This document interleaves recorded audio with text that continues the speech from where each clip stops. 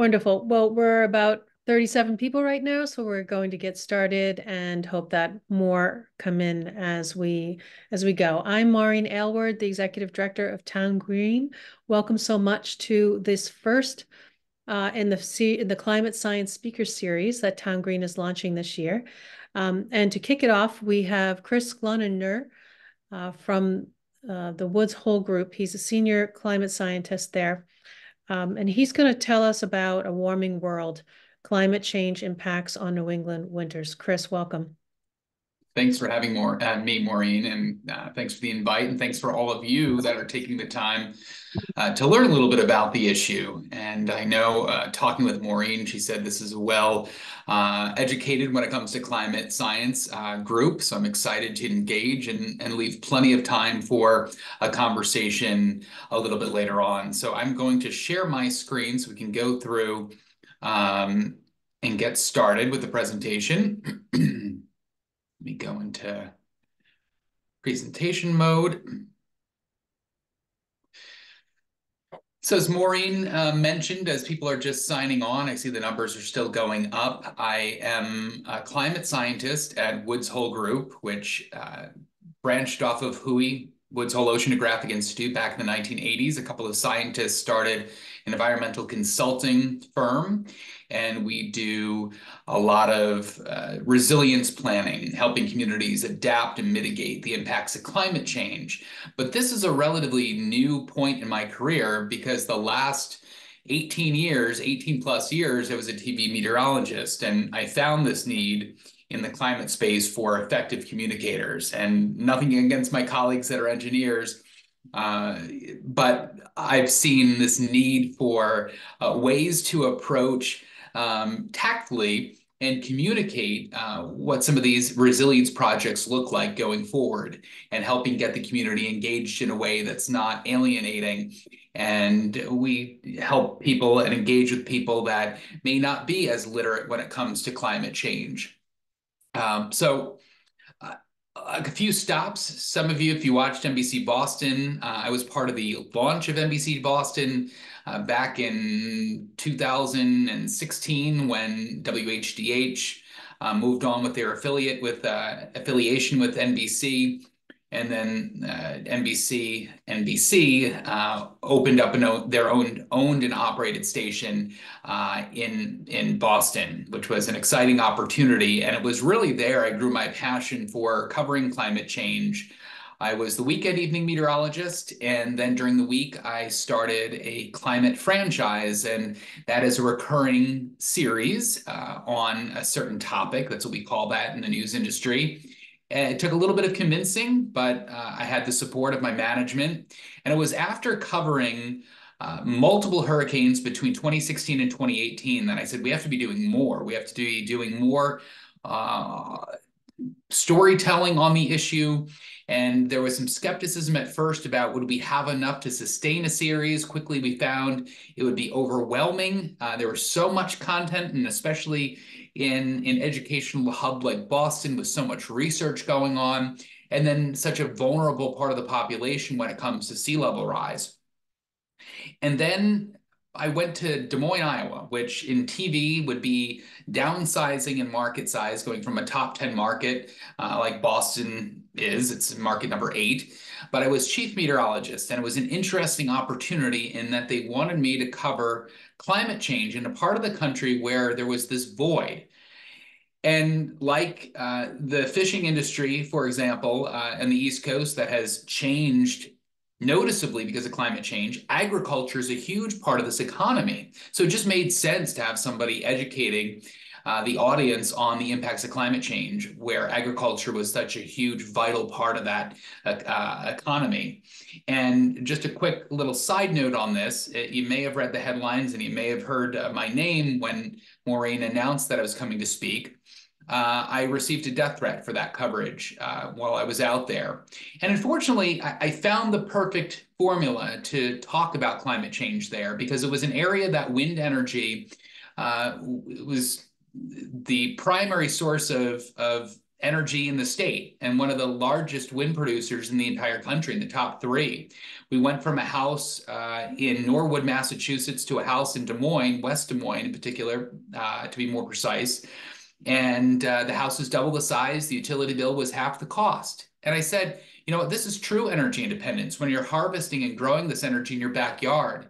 And those turbines ended up being ten to fifteen thousand dollar uh, chunks of of cash for farmers, and that could offset uh, offset a bad season. So for every turbine, they were getting these large sums of money for land leases, and that's true energy independence, which is oftentimes a uh, conservative term, and we just used it, or I used it in a way that could kind of reach across the aisle and get uh, a part of the population that really wasn't engaged in climate change interested about the topic. And then we hit a record number of billion dollar disasters. Uh, and this year we set a new record for billion dollar disasters. And I used the term fiscally responsible. And I said it was fiscally irresponsible to allow all of these natural disasters to happen unchecked and write out empty checks or blank checks for recovery costs. Uh, for every dollar spent on mitigation and adaptation, we end up saving $7 on the back end recovery costs. So allowing communities just rebuild after storm after storm after storm is fiscally irresponsible. So these investments were responsible. So using their terminology was an effective way I used to communicate the climate science to a part of the country that skewed uh, more conservative, especially after 2016. But uh, for a, a, number of reasons, including lack of management support on continuing my efforts to talk about climate change, we decided to move back and I got into the, the world of environmental consulting uh, and helping the scientists on my team communicate those impacts of climate change. So I mentioned that my coverage and getting into the industry was told absolutely not you couldn't cover it. And then i was told you need both sides. And in journalism that's called a false balance. When there's evidence of one but not of the other. So and there's no evidence that it's a natural cycle. There's no evidence that it's uh, due to the solar cycle every 11 years. Um, so that false balance uh, was quite clear early on in my career. Uh, but then there was just always something more important to talk about. And photographers, when I was planning on covering these stories, were pulled to cover breaking news because we, of course, need to know about every crash, fire, and shooting. Um, but we couldn't cover the one issue that affects everybody, unfortunately. And then that's when, again, I, I mentioned this earlier, but I, I approached station management after covering Hurricane Harvey with over 50 inches of rain, and Irma and Dorian that rapidly intensified to category five status in just a short amount of time. This was our new normal. We needed to do more. And I helped launch the country's first weekly series on climate change, which was right here in the Boston uh, viewing area, which was fantastic. And then I went on to help uh, the Hearst Television Group start their Forecasting Our Future series. And then again, my time was cut short after a, a, death threat, lack of management support, which I couldn't be as vocal about as I wanted to be. Unfortunately, they told me to to curb that, and uh, and I thought it was best if we moved our our separate ways from that point forward. Again, I know a lot of this may be knowledge you already have, but for those of you that are joining that uh, you're new to this, uh, we can see the relationship right here. And there's nothing more effective than showing our CO2 emissions since essentially the Industrial Revolution and our atmospheric global temperatures, that average temperature over time. And the two are married on this graphic. They follow each other exactly. You may say, well, look, you see the temperature fluctuates. Well, that's because of global natural cycles like El Nino and La Nina, uh, the, uh, the Atlantic Oscillation, which is another big global uh, pattern. So that would be the natural cycle that we would expect to see. Those would be the the, the cycles uh, that are natural versus what is man-made, the anthropogenic side of it, which is our CO2 emissions over time. And this this graphic, I'll, I'll start playing this, is quite telling. And uh, we're often asked as climate scientists and meteorologists, well, how do you know what happened so long ago? And that really is a great question. And if, if somebody really is wanting to learn and willing to listen, uh, you can uncover a lot of data from hundreds of thousands of years ago in the case of ice cores, for example, ice cores, we can actually have uh, up to a million years of data. And same goes for ocean sediment. As they uh, take out these large cores, they shoot a laser beam through that and they can get an idea of what the atmospheric composition was at that time. And that can allow us to help uh, paint a picture of what those atmospheric conditions were like then.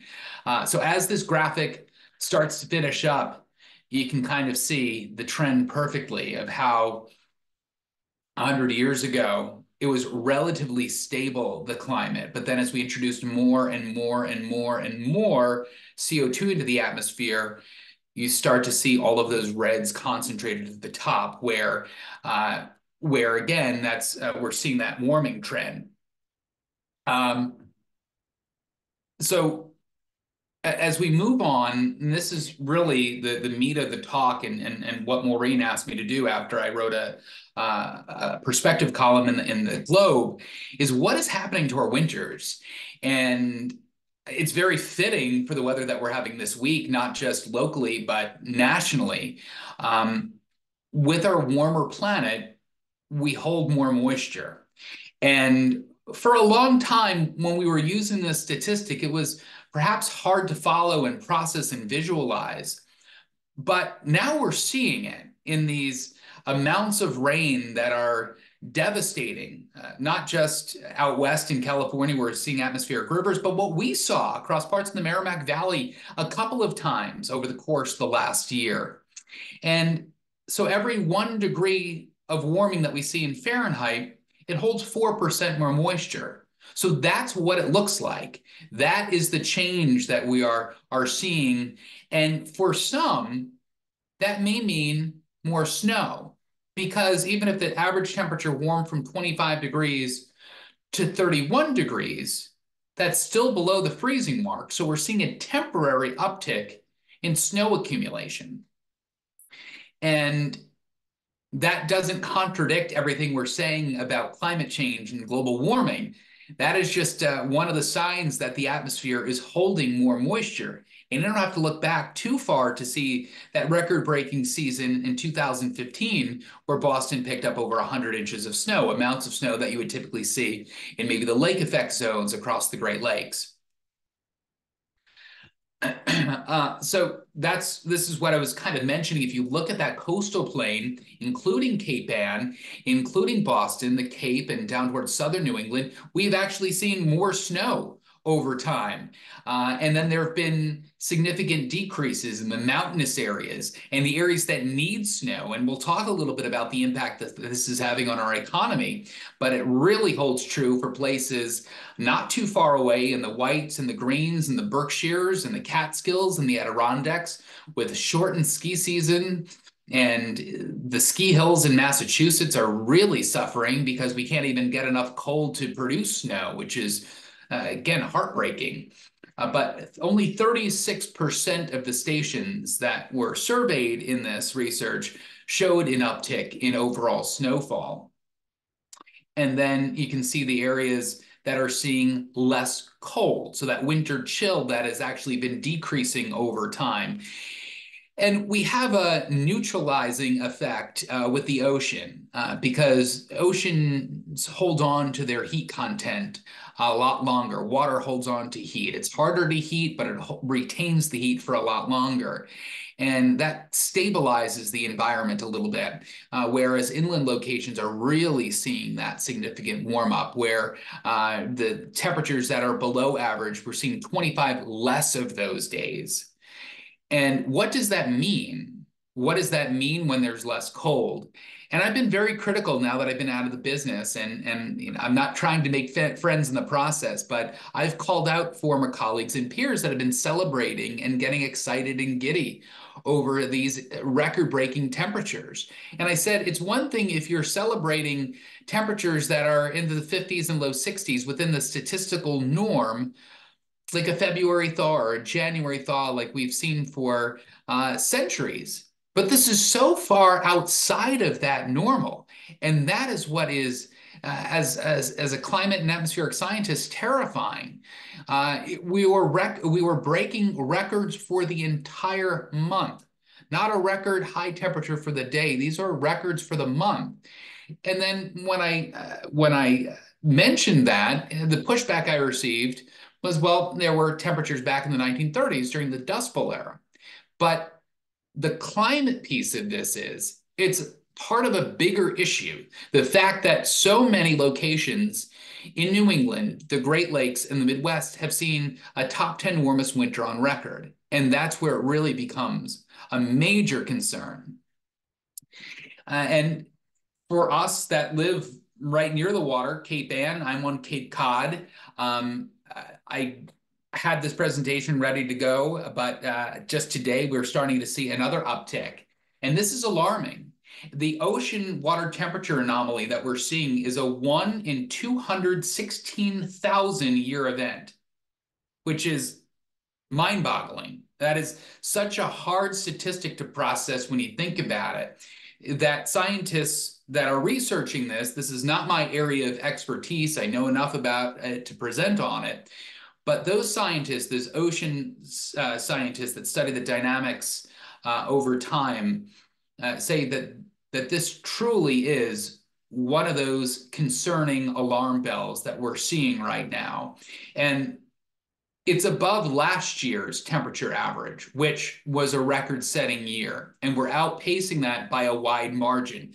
The orange line that you see was last year. The dark black line is this year's temperature profile so far. And it's way above where we were this time last year, which is extremely concerning. so the impacts, what, what do these warmer winters mean for our, uh, our ocean uh, climate and, and uh, you know, in turn, uh, the the industry that we have when it comes to fishing. Uh, for aquaculture, it's devastating. Uh, we have cod and lobster that are now migrating farther north to find colder water. And places like Nova Scotia and now Newfoundland are seeing a boom in the lobster industry. Uh, but for many uh, fishing communities, they're having to shutter or switch over to a combination of running charters to get creative, to get creative and supplement some of those income losses. Um, and also, uh, warming ocean waters people assume that all of our rising sea level occurs because of melting land ice, what's happening in Greenland, what's happening with the glaciers in Antarctica. While that plays an important role, Thermal expansion applies to warmer ocean waters. So to take you back to the classroom, if you might have forgotten that term, when water warms, it expands. So this rising sea level is happening for two reasons.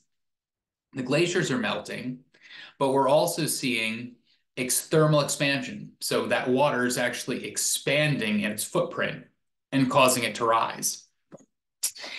Um, what we're also noticing is that we get into these patterns um, during the winter where the jet stream becomes wavy. And Dr. Jennifer Francis, who works for Woodwell Climate Research Center, uh, published only a couple of years ago, it's called weather whiplash, which is a great terminology. And having been in news, that is something that the news industry uh, absolutely loves. Uh, but it's also something that um, is concerning when it comes to being in these active patterns that don't break down. So when the cold migrates south from the North Pole, the jet stream begins to get wavy and we get stuck into patterns. The weather goes from one extreme to another. So it may be very, very cold, but it's usually followed by record warmth. And th that fits the pattern for what we saw from December through January, that one month stretch that happened just before the Christmas holiday through the first half of uh, for the first half of January, where we had those sou'easters, which weren't as impactful. I know you had flooding in Cape Ann, but this was more of an impactful event or setup for uh, places that are, are south-facing beaches. So the Cape, Nantucket, Martha's Vineyard, uh, places like uh, southern parts of Rhode Island. Uh, and we're seeing these patterns join up with atmospheric rivers, which are uh, atmospheric uh, channels of water, which hold almost 27 times the amount of water that's flowing through the Mississippi River. And those atmospheric rivers cause stronger storms. And that strong, those stronger storms are caused by uh, and aided by warmer ocean water temperatures. So these storms are in, getting injected with even more moisture than they had uh, several decades ago. And what's what's remarkable is you can see this weather whiplash perfectly in seeing um, our fluctuations between a ton of moisture and extremely dry weather. So meteorological seasons run from the first of the month, the last day of the month. So meteorological winter runs from December 1st to the end of February. And those are climatologically the coldest three months out of the year as opposed to uh, using the equinox and uh, the, the, uh, the, the, solstice. We use this for climatological records, and it's a lot easier to use those. So if you look at December and January, we will likely see a top 10 wettest winter on record, and yet we will likely see a top 10 driest February on record. So that really puts a spotlight on these large swings that we're seeing across the area, that we can still maintain a top 10 ranking for moisture, but yet our February, the last month out of the, uh, the winter, is going to end up as one of the driest on record. Um, so again, not contradiction. It's not nature trying to balance itself out. It's just the extremes and the weather whiplash, as Dr. Jennifer Francis has explained, going from one extreme to the other.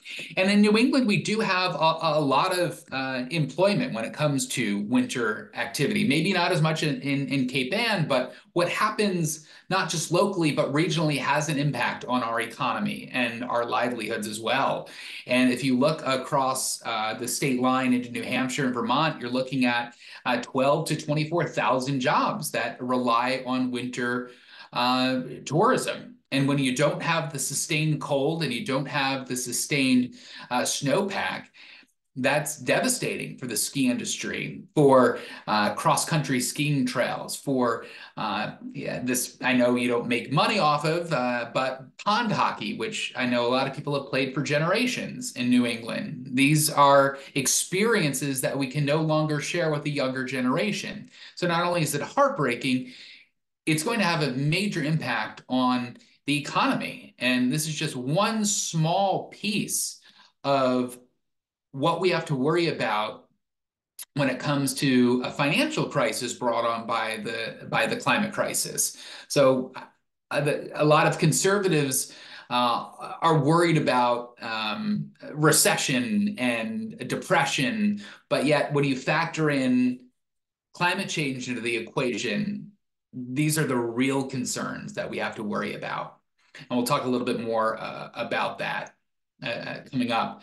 But across the entire country, um, winter recreation makes up $12.2 billion across 38 states, including Massachusetts, uh, is, is pieced into that. And so is Vermont, New Hampshire, and Maine. And when you don't have as much snow, uh, that will just cripple this industry. The UP, uh, the Upper Peninsula in Michigan, has no snow on the ground, and they typically average 300 inches over the course of the entire winter and they have bare ground. Places like Minneapolis and the surrounding communities have uh, closed ice skating rinks and other outdoor recreation because there hasn't been sustained cold. So this is something that we're seeing unfold locally, but we're also seeing it uh, occur nationally, uh, which again is, is concerning. And then you look at the rising sea level component of the equation. And if you look at what occurs nat naturally without the human influence. Cape Ann, Essex County sees its fair share of coastal flooding with nor'easters, with extratropical and tropical systems. But look at the uptick that we've seen with flood-related events driven to sea level rise. And when you're that close to the water, inches matter. And what I think the common misconception is with with people uh, maybe that don't live along the coast, but people think that in New England the biggest threat is a hurricane. But we have large fluctuations in in tide cycles here, and for a hurricane to occur, normally is pretty rare because usually uh, the upper level pattern, weather pattern, steers storms out to sea, thankfully. Um, but if one were to come up the coast, like the 1938 hurricane, like Hurricane Carol, uh, these storms would have to coincide with an incoming or high tide. And typically, the worst the surge in a hurricane is confined to the area around the eye, especially the eastern part of the eye. So it's an even smaller area geographically. However, when you have these atmospheric rivers, like we're seeing during the winter, and we saw three times this uh, winter alone, we saw devastating coastal flooding that went from Maine all the way down to Maryland. So while the, the magnitude may not be as great as what you would see in a localized area during a hurricane, we are seeing these flood events that are far reaching and they are devastating for the people that are living at the coast and are dealing with this chronic flooding. But this is our new normal. And flooding during the winter, I cannot emphasize this enough, is our biggest issue in New England, I would say, hands down. And that is something we need to watch now from the late fall into the early spring. Uh, and when you look at the numbers, it's it's concerning. Um, when you look at the, the total population uh, throughout the county that's below five feet, we're talking thousands of people. And while that sea level rise might not happen uh, in the next 10, 20, 30 years, uh, a storm with five feet of sea level rise certainly is possible. And with climate change, we're seeing stronger storms. So maybe a nor'easter 20, 30 years ago wouldn't have caused the storm surge that we would see today, but that's what's concerning. Uh, a stronger storm with slightly higher sea levels, uh, even by a foot, would cause significant flooding, and a large number uh, of the people listed on this map, or the populations listed on here, would experience flooding in a, in a 100-year event or a very, very strong nor'easter. and it comes with a high price tag as well. Um, by 2050, uh, there are hundreds of millions of dollars worth of property that are at risk. Uh, and that is uh, now we're very close to being, let me do some quick math, that is within a 30-year mortgage. And I mention this story uh, frequently when, when I talk with uh, groups, and it's impactful and I think shows uh, the bigger issue. And Maureen mentioned people wanting to know how they can get involved. And we'll go through a few of those examples, which are a little bit outside the box. And I, I try to be a little more um, uh, yeah, I try to be more outside the box than your traditional get solar, uh, drive EVs. I try to do uh, tangible things that we can all do. But uh, I was covering a nor'easter for NBC Boston, and I won't say the town uh, because I don't want to give them a, a, bad reputation. Because everyone that runs a community uh, has to face this challenge at one time or another. But you know, it it costs money to keep a town going, from paying teachers, firefighters, police officers, keeping the library open, uh, keeping the roads plowed. Comes with a price, and there was this this home that was right on the beach that was for sale during a nor'easter uh, right before I left for Iowa. And the home was for sale and it had a price tag of about $1.5 million. And the listing said, your dream beach home, whether it's your permanent home or your vacation home, this three bedroom, three bathroom is your ideal location, steps away from the beach. That house did not survive the nor'easter. so for some reason, something in my head said, let me just take a screen grab of this, this property listing. And I, I don't know what, what told me to do that, but the storm didn't survive. Uh, the house didn't survive that nor'easter, was gone the next day. So I went back online, I refreshed the listing, and the listing was changed to build your own dream beach home. and there was uh, about a $250,000 price cut off that price. It was still a million and a quarter. But that's our problem right there. And if you look at that, the bigger picture, and when I said the financial crisis earlier, sure, the, the winter industry that we have across New England will suffer significantly, but our towns will too when homes that are already seeing repetitive losses, when they're not able to be rebuilt. And we really need to have that conversation. Should they be rebuilt? And I know that it's difficult to part ways with a home that is providing essentially tax revenue for this community. what is one less home that's valued at a $1.5 million for the for the tax roll? And, and these are the difficult conversations we need to we need to be having. And with insurance companies moving out of the state, uh, with banks that are soon going to be saying your house will be underwater by the end of the 30 year mortgage, we're not going to offer you any funding for this house.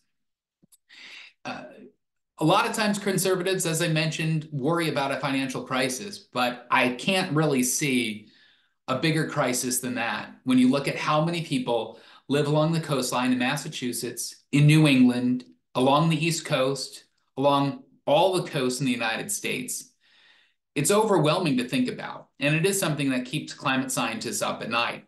So I, I, want plenty of time for for Q and A, and I, I, mentioned I'd stop by 7:35, and we're we're almost there. But here are some of those individual actions that I think people can take, and I've tried to curate this list over time um, instead of just making it filled with throwaways. In my new role in environmental consulting, I've noticed that there aren't a lot of people that attend public meetings. Public meetings where a lot of these mitigation and adaptation projects are being discussed, are being voted on where the conceptual designs are being shared with the community for feedback and no one is there. Go to these meetings, listen to what these leaders have to say, uh, find out about maybe the co-benefits of nature-based solutions and, and, and the positives that they'll bring to the community right? There's an even bigger return on investment if you can uh, not put up a seawall, but maybe put in um, some kind of uh, cobbled berm or, or other natural protection. There could be some, some benefits to the overall community. So again, I encourage you to go to meetings, vote for candidates that take climate change seriously. That isn't necessarily a Democrat. Uh, there are plenty of conservative um, politicians especially in parts of the country where climate change is very visible, like in Florida, who understand that climate action is important. And then talking about it, talking about it, going to talks like this, getting involved in community groups. I said this um, uh, to a talk uh, last night that I gave that, you know, my, my dad um, uh, is in his mid 70s, has been dealing with, with bad health. We went on a, a family trip uh, to Greece, and, and he took the time to learn from locals about the impacts on climate change and olive production after a devastating drought and fires that affected them, and, and the yield of uh, olives being way down because of the drought and fires. That's the conversation we all need to be having. And every profession that is listening and represented tonight will be impacted by climate change one way or another. And I cannot again under undersell the importance of that because if you're in public works, if you're a teacher, if you're in the healthcare profession, climate change is everywhere and it's affecting everyone and it's affecting everything we do. So with that, I want to open it up for for questions. Um, I'll do the stop share so I can see everyone. Great. Thanks so much, Thanks Chris. So much. Um, hope I'm not having too much of a um, reverb here. Um, we are going to do Q&A with Chris right now.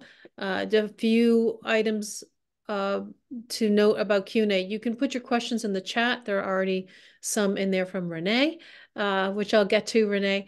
And you can also raise your hand if you would like to speak or ask Chris a question. Um, to start with, uh, you know, I wanted to ask a question from um, some folks who actually uh, sent their questions in earlier. Um, we had a question from a mother who's uh, who of three three boys, and she she's talking to her children about uh, climate change and the lack of snow. Um, what do you say to her, Chris, um, about what's happening or how to speak to children about this change when they love snow so much? And then how also could they get involved, especially with the winter situation that we're experiencing this year? I think it's I think it's a great question. I think first of all, don't move to Florida where they're taking climate change out of all uh, all curriculums. um, step one. But step two is encouraging teachers to talk about it. And I actually talked with somebody earlier today did had a had an interview with somebody about just that. It shouldn't just be one class. It should be every class talking about the impacts of climate change and encouraging teachers to do that. A health teacher talking about how respiratory conditions will happen with burning wildfires across parts of the, the West in Canada and how that's affecting public health and how urban heat islands affect minority communities more um, to history lessons, perhaps that Boston was was built uh, on on backfilled land, and for years it's been fine because everything was based on a stable or what we thought was a stable environment, stable climate. So that's how infrastructure projects are designed. But now we're seeing these hundred and a thousand year events happening with regularity, and we can no longer uh, believe and think and plan for a stable climate because it's anything but stable. So it's asking teachers in all settings to talk about climate change and, and, and incorporate it into their lectures. Uh, it's also asking a meteorologist at a local TV station. Boston is great with it, with showing up at schools and writing in to a local um, TV meteorologist saying, I want somebody to talk about climate change to my son or daughter's class. Have the teacher reach out. That's another way that you can get the conversation going. There are a lot of meteorologists who are well versed in climate change in this market. That's a great question. So thank you. Thanks, Chris. Um, if you want to raise your hand using the prompt uh, down below in your Zoom, um, you can do that. But Chris, I have another question for you that came mm -hmm. from folks um, as they registered. Uh, biodiversity loss in the face of these warming winters. What are we looking at? You know, what what should we expect, and what what is that loss going, you know, to be like? I mean, biodiversity loss is already significant, and the fact that we're seeing shifts of uh, some of our um, cash commodities when it comes to, I, I, guess you could call it that, cod and lobster and uh, shellfish are being affected as well with these warmer ocean water temperatures. So we're already seeing that. But I think it, almost a, a, a, bigger concern is the, the increased biodiversity of invasive species and, and new um, plants uh, and animals that are coming to our region that are, are non-native and what that will do to native species. Uh, is an ex excellent example. Thrives on CO2, which of course is increasing, and it's overtaking all kinds of, of vegetation that's native to the area. Um, and, and we're seeing it with other bird species as well. Birds that are native to the area are being pushed out by birds that are now finding this uh, a welcoming climate. Um, so I think it's it's twofold. I think it's we're seeing loss in biodiversity when it comes to uh, many native species, but then we're introducing new species that don't really coexist with with what we have locally. Thanks for that. I think it's something that we just have to keep watching um, yeah. and and also recording. I mean, there's you know the Christmas bird watch. I know the the local paper has bird sightings, but you know we we need to keep an eye on you know what we don't see any longer so that we don't miss it because what's invisible might not necessarily we might not necessarily think about it anymore. Um, and actually, to build on that quickly, Thoreau with um, Walden Pond, if, if, you're familiar with that, uh, I think it's uh, there's a professor, um, maybe it's it's Walden, if you if you look up online, Walden Pond and warming, it's a fascinating look at at, at what Maureen just mentioned, especially uh, you know what species are around, what have we lost, what have we introduced, when things come into bloom, uh, how much earlier have they come uh, into bloom, and essentially it's his class that that took over some of those observations from Thoreau, and and built on that. Uh, so I, I highly recommend that if you if you want to do some reading. yeah, yeah, we'll get we'll get to that. Um, one question from Renee in the chat. I'll try to get it to as many as possible. Mm-hmm. She's asking about the AMOC. Could you explain what the AMOC is? There's a lot of of uh, you know conversation about this now because of that new study.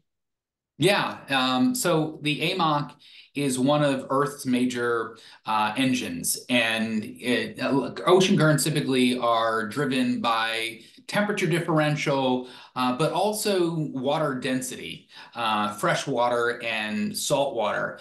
And when you have melting glaciers, um, when you have melting glaciers that are flowing into the oceans, the density is out of whack and you have fresh water that is extending much farther equatorward.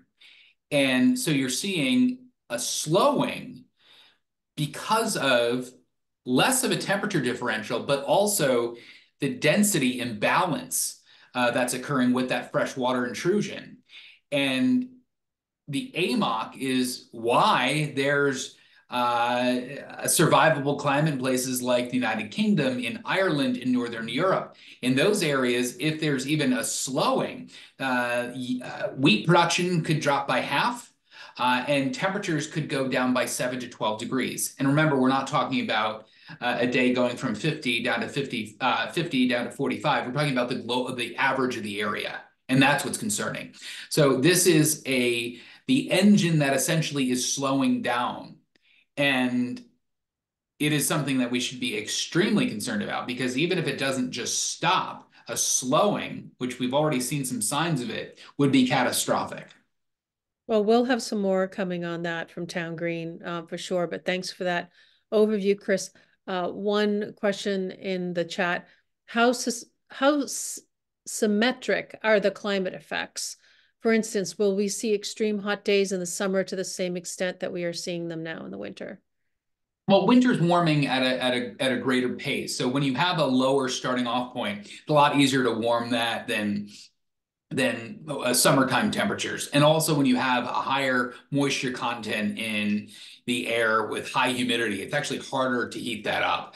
Um, and sometimes the, the impacts aren't felt across the area, uh, across the United States equally. Um, uh, we talk a lot about how in environmental justice communities are hit harder, but there are geographic areas that are not as vulnerable as places along the coastline. And that was one of the things I encountered in Iowa is the impacts were not as visual as driving down Morrissey Boulevard uh, in Boston on a sunny day and there's a foot and a half of water. Um, sure, there's drought. Sure, there's heat and it feels warmer, but if there's 10 more days that are above average, what does that feel like? What does that look like? So I think that it is it's disproportionate. And there are areas that are hit harder, and winter is seeing the greatest change, especially locally. Hmm. Well, this winter has been a bust for us. I mean, yeah. I just talk about heartbreaking. I'm I'm heartbroken over no snow, um, no pond, no pond hockey. Um, another question from the chat: um, To what degree, if any, has the state taken uh, the effects of climate change on the communities that are being forced to change zoning to accommodate more housing. Cape Ann is certainly one of them. I guess, you know, I guess this is a, a climate change and zoning uh, question uh, that what the state is looking. I'm not sure if you can answer that or address that. I mean, I can because I was part of this project and I'm, I'm working on the project as one of the consultants on the team. Uh, but that kind of goes to what resilient coasts is going to be. And that's something that the governor uh, recently announced which is exciting and very progressive work. And i think there could be some tough decisions and and where we build who can build where and uh, you know maybe managed retreat comes into the equation. But the fact that the administration is being as progressive as they are um, makes me optimistic because at the end of the day there's going to be this pot of funds that's there for managed retreat and people to move on. And over 100 million people, right, that live pretty close to the coastline that may suffer a similar fate. It's better to make these decisions now and take action sooner than later. Um, so I think that the current administration is doing a, a, just a fabulous job uh, with uh, with their their climate action. Um, but yeah, I mean, that I think that piggybacks off my story about the home that was listed for sale. They allowed a new house to go up. And and to finish that story, there is a, a, a brand new three bedroom house that was on that plot of land that washed away only a few years ago. wow, that's amazing. Um, could happen here. Yeah, absolutely. I um wanted to just mention to everyone that uh, just to, to, regarding resilient coasts in the state, uh, Town Green is bringing Melissa Hoffer to Cape Ann. Uh, it'll be in May, probably May 28th or 29th. I'm not sure yet. I'm still trying to find a venue for that. Um, but she will be, she's the climate chief for Massachusetts. And so she'll be in person um, speaking to Cape Ann. So um, we'll learn more about it uh, there. And um, uh, another another question from the chat on actions we can take aside from the actions you mentioned. Where do you see community actions around electrifying homes and transport fitting? I mean, we're talking about a little something different here, but um, we can't wait for the perfect policies to be enacted to encourage change. I know you said earlier you're you're you know you're for electrification and so forth, but you're also oh, looking oh, yeah. at science.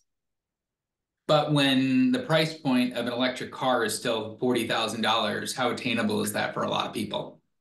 Uh, my parents went solar just because they were environmental stewards. They're on Social Security, um, had the money uh, and savings to allow them to do it, but they got none of the, the rebates or tax incentives because of it. They did it just to be um, environmentalists. That's what needs to change. Needs to be equitable, our electrification process.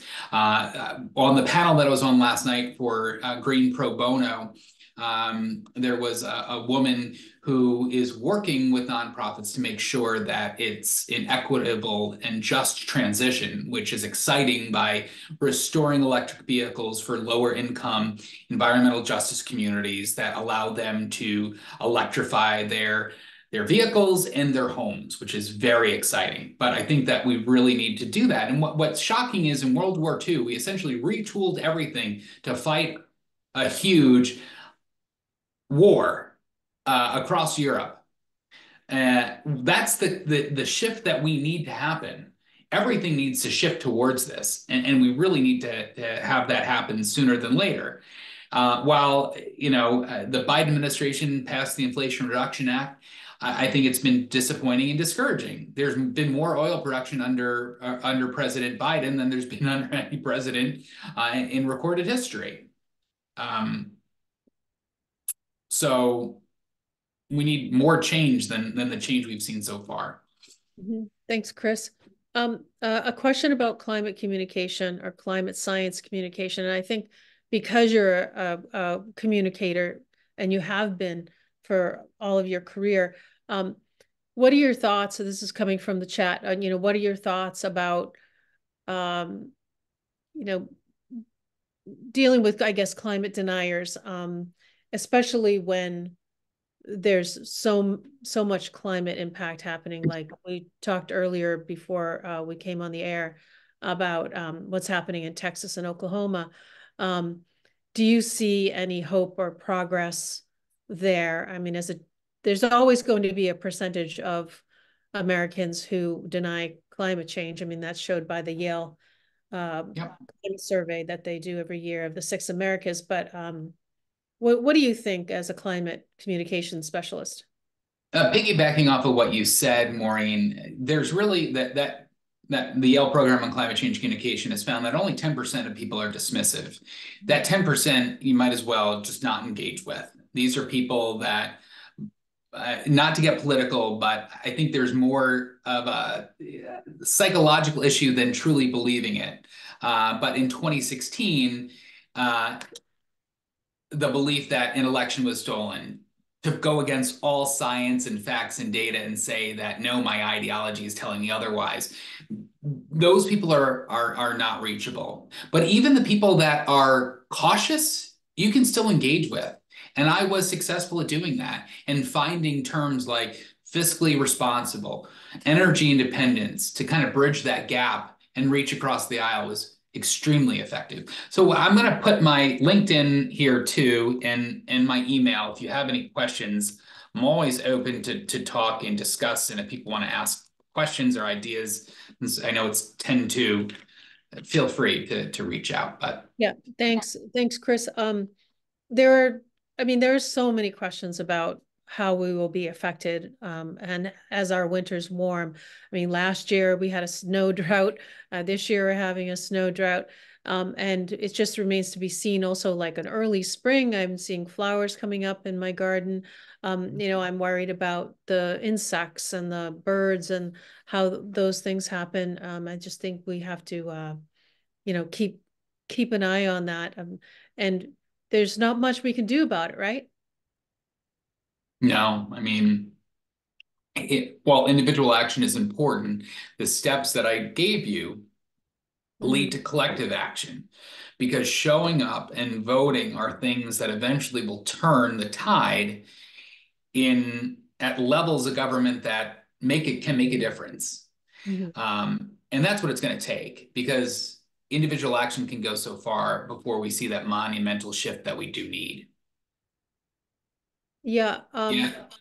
You know, I, I do think that, you know, local action, local engagement, um, for sure, you know, policy has been often uh, touted as the way to make change. Um, but people people want to know how to get involved. And I think that, you know, come learning more, uh, attending our uh, town green mm -hmm. programs, you really can that start the action. There's other ways that you can you can get involved. Um, and, and one of them uh, is a field trip that's coming up. And I thought that you know, Chris and I would talk about a field trip that Chris helped to set up. I'm going to share my screen for a moment so you can just see. I guess I can't share my screen.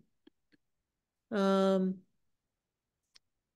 anyway, well, I, I'm not able to share my screen, unfortunately, but I can tell you a little bit more about this field trip coming up on March 8th. It's uh, climate adaptation on Argilla Road, um, or Argilla Road, uh, um, in Ipswich, uh, part of the greater Cape Ann region. And Chris helped to put us in touch with the trustees over there. Uh, it's going to be March 8th from 3 to 4, and we'll be meeting right at the estate. More information will be sent out in um, the Town Green newsletter. But Chris, could you talk about why you thought that this particular uh, field trip with Russ Hopping would be a good idea to connect with this um, this topic and webinar? Uh, Russ is uh, a visionary and effective communicator. I interviewed him for the Great Salt Marsh at the trustees' property up uh, up on the North Shore um, I guess you could call it the North Shore. Uh, the property up there, their salt marsh restoration. And salt marshes help absorb, like coral reefs, the, the blow of battering waves that you have with big storms. And the ditches that we dug uh, for decades destroyed the overall marsh health. And they found creative ways to fill those those channels and restore the health of the marshes. And that is what we call a, a nature-based solution. And he is one of the experts that I turn to when it comes to these nature-based solutions. And this project site has a lot of uh, adaptations that are being considered for this this one area. And I think when we we talk about um, increasing the size of culverts and um, using uh, other green ways to to work on climate solutions it's hard to visualize. So this is i think an opportunity for people to understand what nature-based climate solutions will look like in in a community not too far away. Right. And the woods hole group you're working with the, yeah. the woods hole group is working with the trustees and so um, again more information on this great field trip coming up, which is, uh, I guess, next Friday, uh, March 8th from 3 to 4 p.m. And we'll be meeting at the Crane Estate to uh, walk with Russ Hopping, who is the trustee's lead coastal ecologist. We'll be looking at the marsh. Um, we've had a couple of marsh uh, field trips already, and um, this is going to be another great one um, close by in Ipswich. Uh, I know that folks are asking lots of questions that uh, I don't necessarily think that you could answer, but you know, you're amazing. You could answer anything.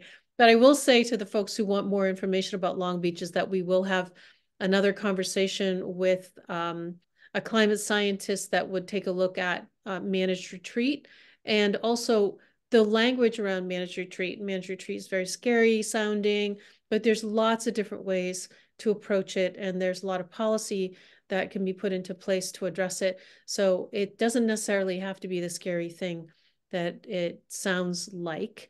Um, so Town Green's working on that. We'll have a program um, coming up in the future. Um, and so we've just got so much. And Chris, thanks so much for being with us tonight. Um, it's been a pleasure to listen to you and to hear you talk about this major issue about warming New England winters. Um, I want to thank you so much. Um, and uh, I also want to thank um, the folks from Town Green who make this possible, uh, especially Tom Meekus, who's our tech advisor, and to Common Crow, our sponsor, our lead sponsor for our programs. Um, please connect with us on social, uh, sign up for our newsletter for more information to find out when our next programs are, look at our calendar. But um, for everyone here, on behalf of Town Green, I'm going to say good night and thank you so much for joining us. Thanks, everyone. Thank you. Thank you.